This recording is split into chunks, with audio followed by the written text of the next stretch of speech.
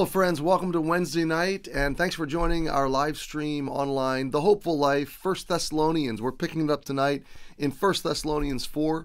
Before we jump into the lecture, I want to ask you to first of all pray for us right now as this is airing. We are conducting a welcome home class, Dana and I, with new folks that have come to Emmanuel.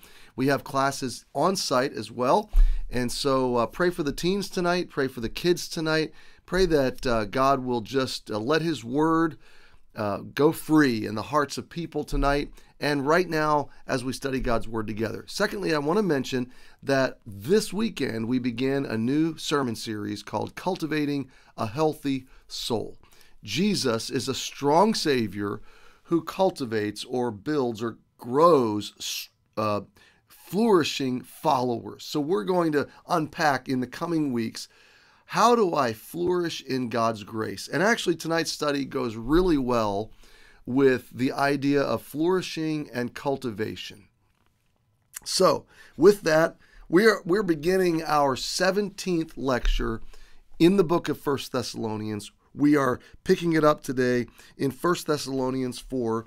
We began this study last week, the hopefulness of holiness, yielding ourselves to the sanctification of sexual purity. So we're going to read verses 1 through 8 of 1 Thessalonians 4, but I want to set up, just remember and remind you where we are in the journey. First three chapters, Paul is remembering, he's affirming, he's gushing with praise and thanks and affirmation for the, the church at Thessalonica. He's reminding them of the work that God did, the way Paul ministered in their lives, and the relationships that they built and how much he loves them and how much they love him. It, it, it's all there, okay? The reason I say that is God's directives always flow out of God's indicatives or God's directions for our lives always flow out of his love for us and what he's done for us, his grace and mercy. So the context of this is not an oppressing Lord just slamming down his dictates with no logic, no reason. No, actually, when we're saved, we're the children of a fabulously loving Father who wants what's best for us. And then he begins to not just lavish on us love and grace and mercy and forgiveness, safety, protection, security, hope, promise, all these wonderful things. He begins to then cultivate us forward.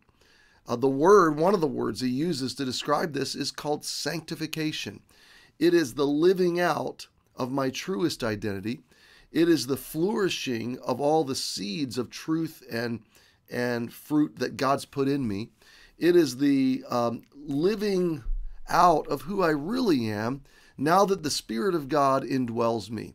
We call it spiritual growth. We call it maturity. We call it sanctification. Uh, we call it the good work that God is doing in us. It is that forward journey that will take the rest of our lives. It is becoming conformed to the image of Jesus. It is being filled with the Spirit of God so that the fruit of the Spirit takes over in my life and the works of the flesh are overcome. It is a, a transitional, um, transformational reconstructing of who I am from the inside and letting it show up on the outside.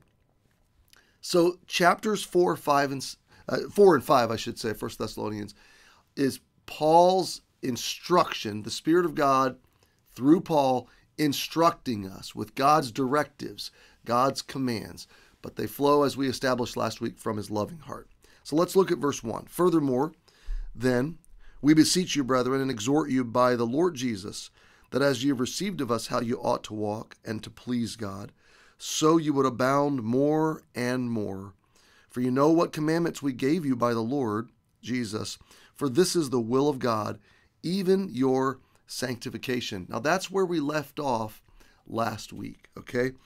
And we called that first thought the the heart of hopeful living. Why? because it's a familial heart, brethren. It's a pleading heart, I beseech. It's a challenging heart, I exhort you. It's an authoritative heart, the Lord Jesus, our authority. Um, that we ought to walk this way. Why ought we to walk this way? Because it is best for us and it is pleasing to God at the same time.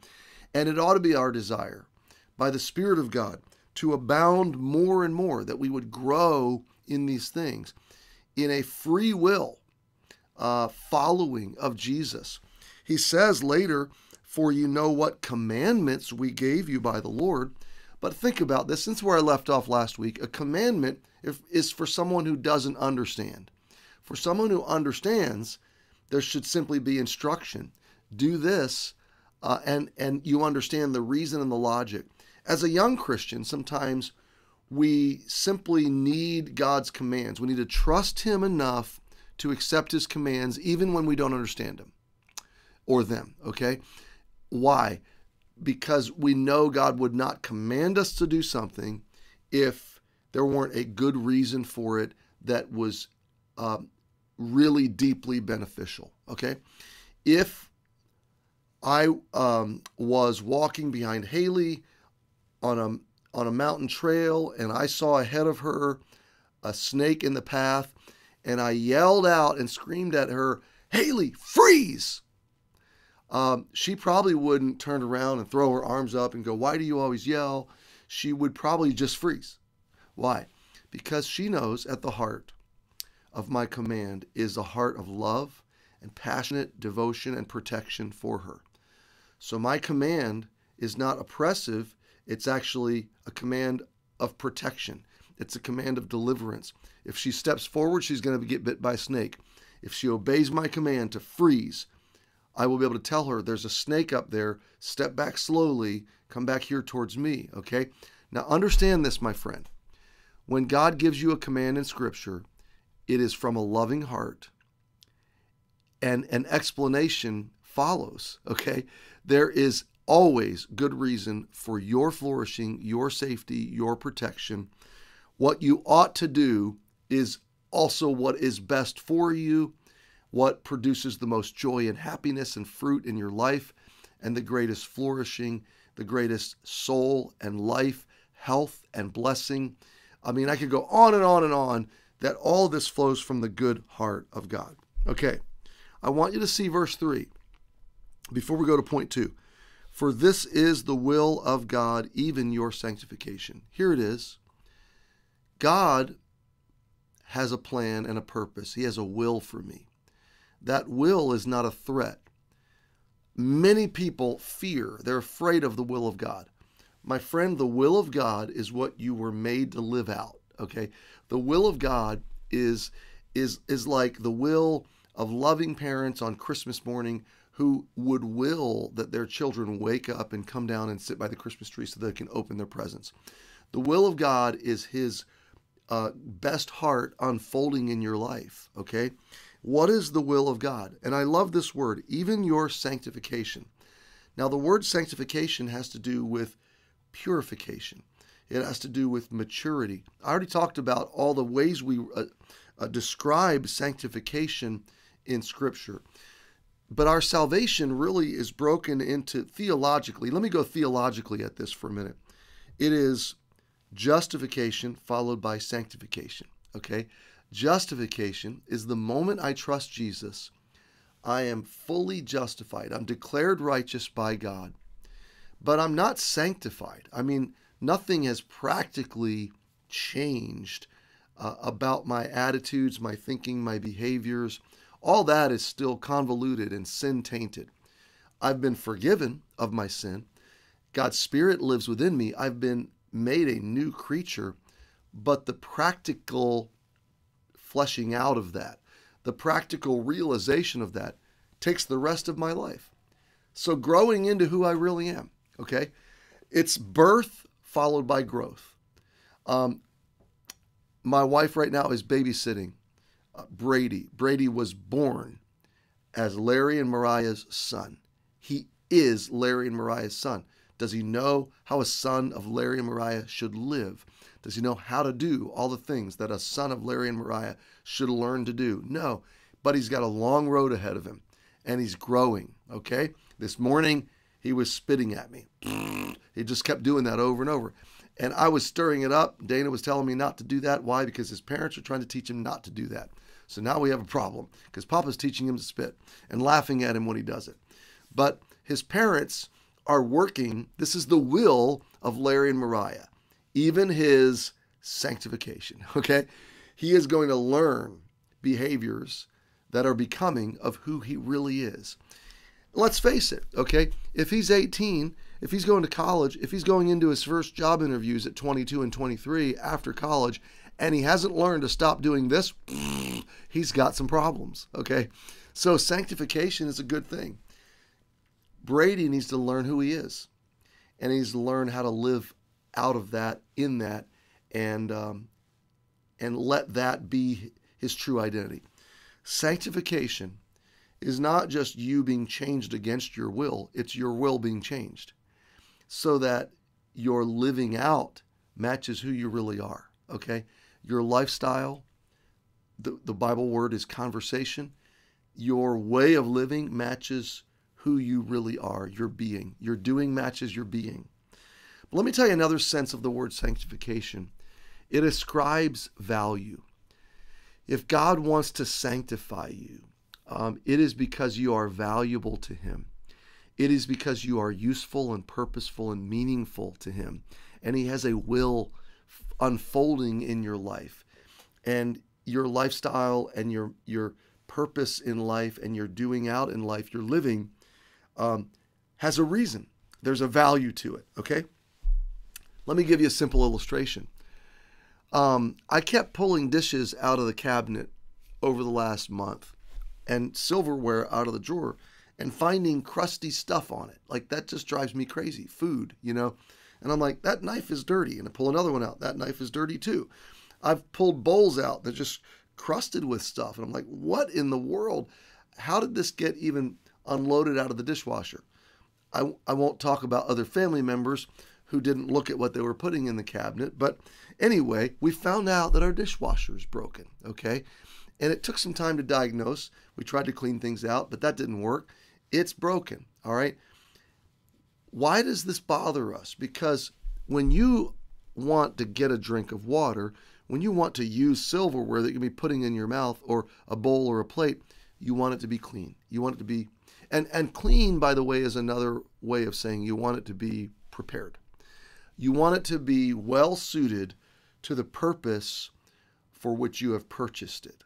Okay? So God wants you clean he wants you sanctified. He wants you prepared for His purposes and His blessings and His fruitfulness in your life. So your sanctification is is there's a purpose to it, and that is that you are valuable to God. And if you don't cooperate with His sanctifying process, then you're going to limit your usefulness and your experience of his unfolding will and purposes in your life and all the flourishing and blessing that comes from that. Okay. Um, you're not going to be able to participate in the purposes and blessings of God the way he would want you to. All right. So everything God's about to say, he doesn't really gain so much as you do. He may gain glory. He may gain um, the realization of his purposes through you, but ultimately your joy, your flourishing is at stake. Okay. So we've seen the heart of hopeful living. Let's look, secondly, now at the purity of hopeful living. What is God's will and my sanctification? Verse 3 that you should abstain from fornication. Abstain is cease, stop. Fornication is sexual sin. So this is God's sexual narrative versus the world's sexual narrative. The world's sexual narrative today is the basically the same as it's always been, okay? And that is sex as often as possible with whoever I want, um, in whatever way I desire. My desires rule, my passions rule, my lusts rule, and uh, so the general sexual narrative is a free for all, and it has been for thousands of years. It is oppressive, it is self destructive, it is exploitative, it is using and tends to abusing others. It breaks down, it's hurtful, it hurts people, It hurts me, it hurts everyone involved. Sex outside of God's boundaries is always destructive, and the biblical word for it is fornication. And that involves sexual sin of all kinds, okay? From from sex before marriage to sex outside of marriage in form of adultery to uh, pornography to uh, all kinds of other activity that would be inappropriate sexual activity. Now, we established this last week, but God's the author of sex. God's not against sex. He just created it with specific functionality and specific place, placement. And inside the boundaries, like fire, okay? Fire in a fireplace, in a fire pit, in a fire ring is healthy and wonderful and good. With all the right controls, with all the right boundaries, fire is wonderful, okay? But out of control and out of boundaries, like just in the middle of your living room without a fireplace, a fire is a bad thing, okay? Fire is completely destructive unless it's bound up with the, in measure, okay? So it is with our sexual desires and sexual activity. God created the desires. We don't want the desires to go away. God created the activity. We the activity is life-giving, it's energizing, it's flourishing, it's multiplying. Um, our families grow because of God honoring sexual activity. Okay, our relationships are made deeper, uh, deeper and richer, and our love is made fuller because of God honoring sexual activity. But outside of those bounds, our lusts and our passions rule, our feelings draw us, and um, and and they become destructive. Another illustration I use is water. Uh, water in a reservoir behind a well-constructed dam can be used. The force of that water can be used to create power. It can be used to be directed into irrigation and to aqueducts and to farmland. And in the right measure, water can bring flourishing life and energy and health, and it can sustain massive centers of population. But take that same uh, reservoir and take that same dam and chip away at it, chip away at it until there's a little leak. And over time, that little leak will wear away at that dam, and eventually it's going to crash and give way. And all the water, all the same great, wonderful potential of that water becomes a destructive, crashing force that will wipe out farmlands and demolish power plants and wipe out entire population centers. And so is the power of our passions. So is the power of our sexual desires. Outside of the boundaries, outside of God's restraints, they're destructive. Uh, inside of God's restraints, they're constructive, they're life giving. It's interesting to me that Paul goes to this first. Why? Because when he went to the Jerusalem Council after his first missionary journey, and they were debating about whether Gentiles could truly be saved and whether they had to become Jewish, whether they had to keep the Jewish laws and ceremonies and systems. They landed on the fact that no, they could be followers of Jesus without becoming Jewish, but they gave them two preliminary instructions. And they said, We'll teach you more about following Jesus. We'll teach you more about God's uh, directions for your life when we come. But for right now, you can't really begin following Jesus if you don't immediately do these two things. Now, this was post salvation and post baptism. So, the first thing we learn is the gospel. The second thing we do is we are baptized to publicly declare that we belong to Jesus, okay? But the next two instructions that James and the leaders, the apostles of Jesus, gave to Gentile followers was stop, immediately stop worshiping idols because you have become a child of the one true God. So put away immediately all of your pagan worship and all of your idea that there's a multiplicity of gods. There is one God. You belong to Him now. So stop worshiping idols. Now, that's kind of fundamental to salvation. I mean, if someone says, "Well, I don't believe he's the only God," boom, then then you're not really saved, okay? Salvation is I want to be I'm placing my core faith and trust in the one savior of the of the one living and true God, the Son of God, Jesus. And he is my only Lord. He's not one God among many. He is the only God, and every other God is a false God. So the first instruction they said was don't worship idols. Now, very closely connected to, to pagan worship was sexual fornication, okay? Immorality, sexual pagan practice. In our day, the sexual narrative is, is almost exclusively psychological. In other words, it's not tied to the worship of a false God, it's tied to the worship of self. It is idolatry, but self is God, and my own psychology is God. And so if if I want to be a woman, I can be a woman. If I want to be a transgender or if I want to be bisexual or transsexual or homosexual, it's all about my psychology. It's not about my physiology. It's not about God's morality. It's not about God's authority. No, the psychological self and the emotional self are uh, are the idol that that our secular world has enthroned and confer and and attributed deity to divinity. The psychology of myself is the divine seat of ultimate authority. Now here's what's sad about that. Not only is that self-destructive but it is fluid. It is completely fluid and what's really sad about that is the narrative is now touching 10 8 year olds 9 year olds 11 12 13 year olds who aren't even sexually awakened yet.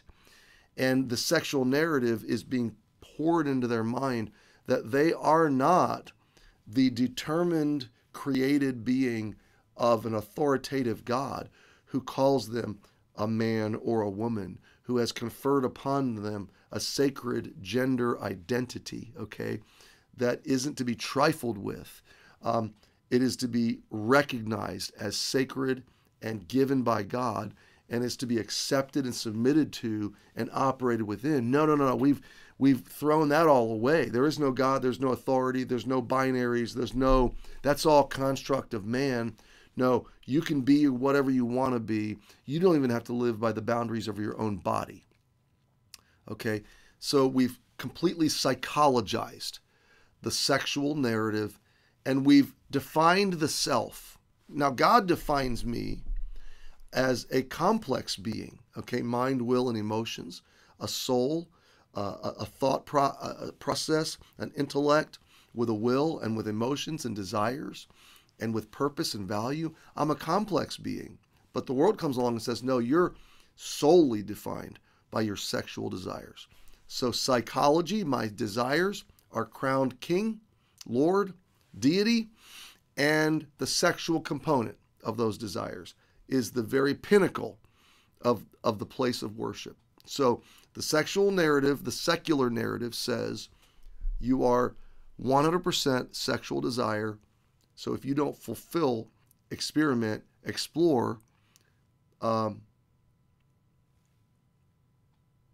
play around, like explore your options with your sexual desires, you can't be true to yourself.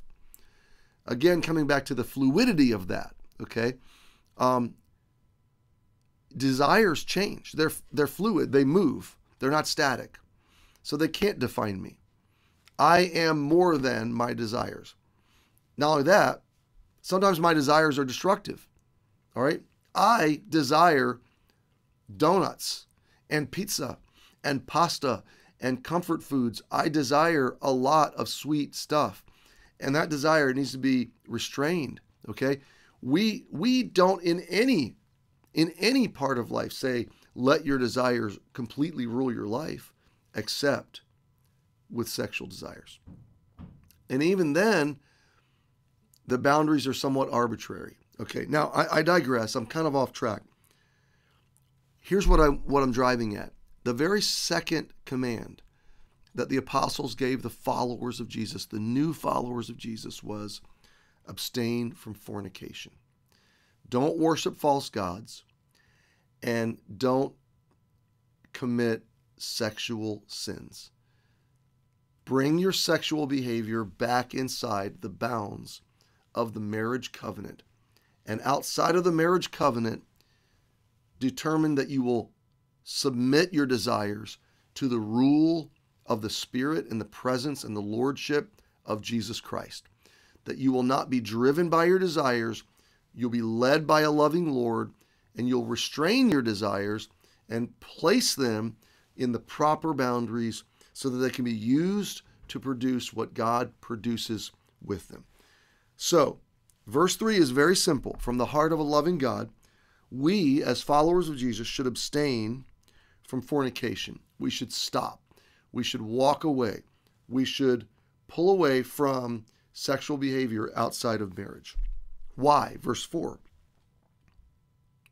that every one of you should know how to possess. Uh, the word possess is to take ownership of, to occupy, to control. Okay? So this is about lordship. Really at the at the foundation of our struggles as believers. Will I lord my own life? Will my desires and my emotions, will hormones rule my life or will Jesus rule my life? And if Jesus is ruling in my life, will he teach me how to possess my vessel? That's my body. Okay, what God is saying is the real you occupies a temporary body, and that vessel is a chemical factory. Okay, and that chemical factory ebbs and flows with desires. Sometimes those desires are strong, and sometimes they're not so strong. And they recur and they have cycles, normal, natural cycles to them. And we in Christ are to learn how to possess. Okay? Think of this. Did you ever have driver's ed? You learned how to possess a vehicle. Okay? I remember teaching Haley how to drive. What a terrifying experience that was. But I remember how tentative she was and how so often she was letting the vehicle do whatever the vehicle wanted to do. And I said to her, Haley, you've got to take control of this vehicle. Grab the steering wheel, put your foot on the brake, put your foot on the gas, get your hand near the, the handbrake, take possession, okay? Do not let this vehicle do whatever it wants to do. No, you occupy it, you possess it, you tell this vehicle to go where you want it to go. Well, when we read possess his vessel for us, what God is saying is, I've put you in a vehicle temporarily that is still uh, able to do its own thing. Your flesh, okay? And there's a struggle. Your flesh wants control, the spirit deserves control. Your greatest flourishing and joy and happiness is going to be when you yield control to the spirit. But you have the alternative, the option of yielding control to the flesh. In other words, letting the vehicle do what the vehicle wants to do. Now, if you're defined in your own head and psychology by your desires, then all you're doing is you're letting the vehicle take control, okay? And what Paul says is no, I want you to learn, what Jesus says is, I want you to learn how to drive the vehicle, how to possess your vessel, your body, in what? In sanctification. God says, understand the purposes of your body, understand the prioritization, the care of your body, understand that you need your body to do my purposes, and value your body the way I value you in sanctification. And so let your body be conformed to my boundaries. Let your body honor me. Uh, I, your body is your temporary dwelling place, and it's the dwelling place of the Spirit of God. So um, live in that body in a way that is a sanctifying journey, a maturing journey, a valuing journey that's going to best enable you to fulfill my purposes and experience my blessings. Um, honor me in this and honor yourself and honor those you love and honor the purposes of God and honor uh, the blessings that God wants to realize in your life. And when we sin sexually, when we fornicate, we are letting the vessel do what it wants to do. We are letting the car drive, okay? And we're losing the value that sanctification calls for. And we're losing the honor that that we should experience in life in the purposes of God. Honor to God, honor to ourselves and to those we love, honor to the unfolding plan of God. Verse 5 contrasts not okay? So we're learning, this is a growing process. It's an ongoing war, okay? It's an ongoing struggle. We are learning how to possess our vessel not in the lust of concupiscence. Now, the word lust is passion, it's desires. Concupiscence is eager desire. The word concupiscence is the sense of, um, okay, um, getting ahead of, uh, premature. See, the desire in and of itself is not sinful. It is letting the desire control so that it's fulfilled prematurely or it's fulfilled indiscriminately or um, illegitimately. Okay, so concupiscence is eager desire. Concupiscence is letting the desire run free and letting the desire lead. Okay, I want you to catch this, my friends. Sexual desire is healthy and good. Okay, God created it.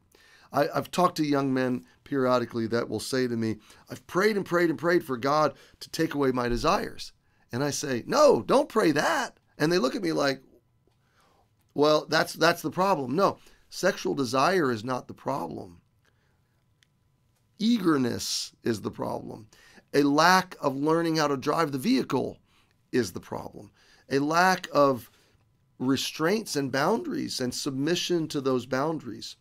Uh, we haven't learned how to restrain the desires and contain those desires in a reservoir and put up a dam and let the desires be channeled in the right direction. Okay. We haven't learned how to harness and put reins on and put a bit in the mouth of those desires and and then and then um, lead those desires where they should go instead of letting the desires lead us. And this is the battle of every young follower of Jesus that we are to learn how to possess our vessel in sanctification and honor, not letting our passionate, eager desires, lust of concupiscence, our, our sexual passions, our eager early desires drive us forward, even as the Gentiles which know not God. See, there's the secular narrative. The Gentiles are led around like a ring in the nose. They're enslaved to their sexual narratives. You know, that's really still alive and well on planet Earth today, more than it's ever been. The sexual agenda, the radical sexual narrative of our day, is an enslaving narrative that says uh, we are nothing more than our sexual desires and we should be uh, bowing down before them and worshiping them and enslaved entirely to them. But the problem is that is a completely self destructive journey. It destroys others, it destroys myself, and it doesn't lead me to the flourishing that God wants to put in me. My friends, we're going to pause there. Okay. We've seen verses 3, uh, 1 through 5. The heart of hopeful living, God's desires, God's love for me, the purity of hopeful living, that I'm to learn how to abstain from fornication and restrain and learn how to possess my vessel in honor to God and in honor to myself and others and all that God wants to do in me and in others. And not give control of my life to the lust of concupiscence like the sexual narrative of our world. My friend, we are hounded constantly by this in our world. It's all mainstream, okay? And it's just getting worse and worse. God's directives to us for your flourishing in mine is that we learn how to possess our vessel and that we don't give our hearts and minds to the modern sexual narrative. Why? Because God knows more about sex than anybody that's ever lived. And God wants you to have the best sex, the best life, the best flourishing possible, and the greatest fulfillment in His plan. His plan is true and right, and anything outside of His plan is always, always, in the end, in the outcomes, destructive and hurtful. So we'll park it there. We're going to pick it up next week with verse 6, 7, and 8. And that will be the finishing of this particular outline. Thanks for joining me tonight, Wednesday night. I hope tonight was helpful and equipping to you. Have a great night.